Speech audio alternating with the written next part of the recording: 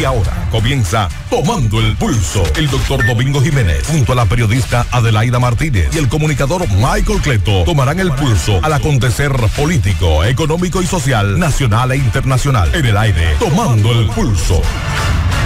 ¿Y qué le sucede a... ¿Y qué le sucede a la Asociación de Molondrones del país? ¿Cómo? Que ha comenzado una protesta contra su dirigente Hipólito Mejía. Porque según ellos, el señor Hipólito está maltratando la clase. A los. Así es. Y desperdiciando la materia prima de los molondrones que es la agua.